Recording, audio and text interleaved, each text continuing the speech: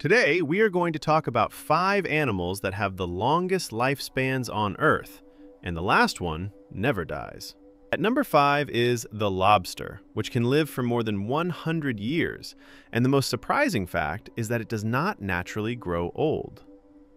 At number four is the koi fish, found in Japan, with some individuals living between 150 and 200 years, making it a symbol of long life. At number three is the bowhead whale, a giant of the ocean that can live for 200 to 250 years, and scientists have even found centuries-old marks in its body. At number two is the Galapagos tortoise, which can live close to 300 years and defeats time despite its slow lifestyle. And now at number one, the immortal jellyfish. This tiny creature, when facing danger or aging, can return its body back to a young state, which is why it never truly dies and can restart its life again and again.